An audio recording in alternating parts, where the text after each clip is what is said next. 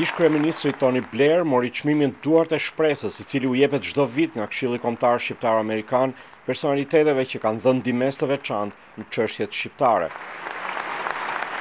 Çmimi iu dorëzua zotit Blair nga kryeministri i Kosovës, Hashim Thaçi. Zoti Blair, i cili ka qenë kryeministër nga viti një mijë e nëntëqind e nëntëdhjetë e shtatë deri në vitin dy mijë e shtatë, u nderua për kontributin historik që, siç thanë organizatorët, ka dhënë në shpëtimin e jetëve të popullit të Kosovës, si dhe në përpjekjet që çuan në pavarësinë e saj.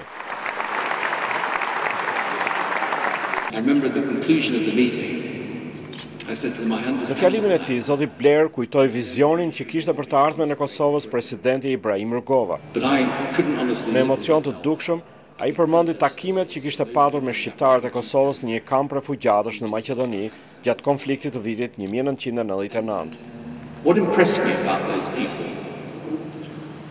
Was not just the stories that they had of suffering. Ajo që më bëri përshtypje te këta njerëz, tha zoti Blair, nuk ishin thjesht historitë e tyre të vuajtjeve, por edhe shpresa që ata kishin për një të ardhme ndryshe, shpresa se ata do të çliroheshin dhe do të mund të bënin jetën që dëshironin. Sa herë që mendoj për politikën dhe thelbin e saj, kujtoj se natyrisht politika ka të bëjë me programe qeveritare, me reforma dhe vendime të përditshme, Por ajo ka të bëjë gjithashtu me diçka më të rëndësishme në botë, dhe ky është një koncept shumë i thjeshtë që lidhet me lirinë. Ndonjëherë ne në Perëndim e marrim lirinë si diçka të natyrshme dhe nuk e kuptojmë se sa e çmuar është ajo dhe se ajo duhet ushqyer për ta bërë botën një vend më të mirë. Zoti Blair tha se do të dëshironte që të gjitha vendet e botës ta njihnin Kosovën.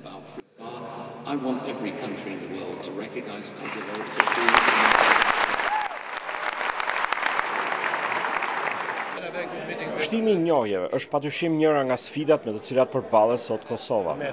Zëvendëskryeministri i parë i saj, Behgjet Pacolli, i tha Zërit të Amerikës se ky vit do të sjellë të papritura të këndshme për sa u përket njohjeve të tjera.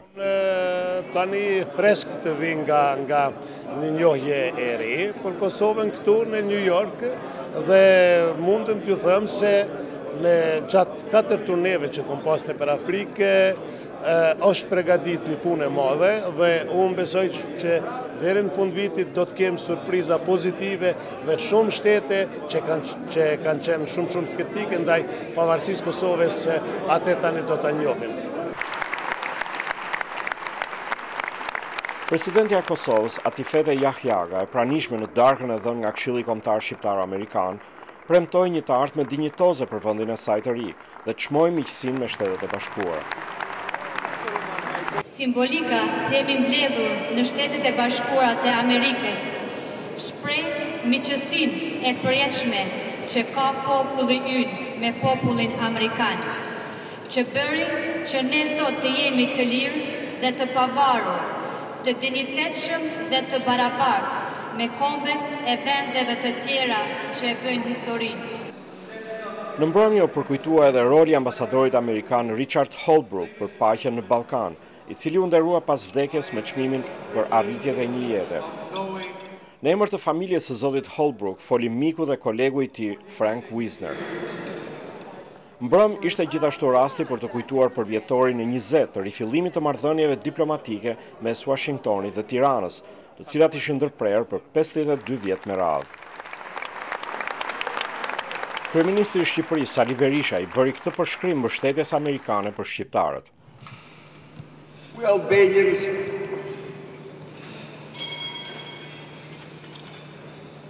happen to be the last in Europe.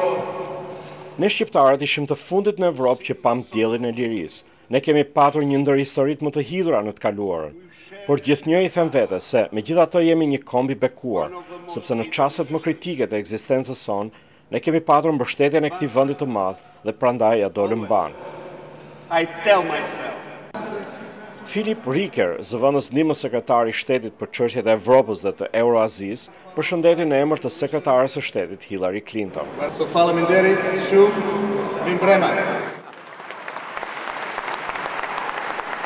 Ai tha se ambasadori amerikan në Tiranë, Aleksandër Arvizu, po organizon një numër veprimtarish me rastin e 20 vjetorit të rifillimit të marrëdhënieve diplomatike mes dy vendeve.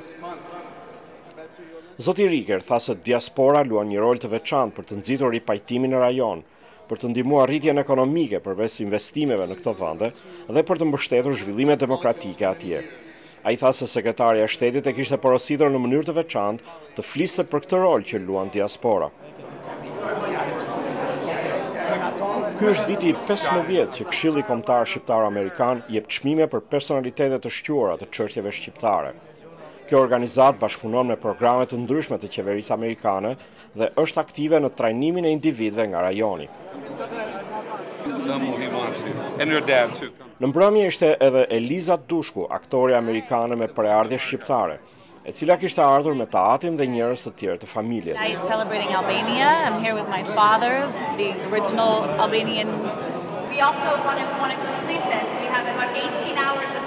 Ajo përshkroi mbresat e paharruara nga vizita në rajon, gjatë së cilës mori edhe shtetësinë shqiptare.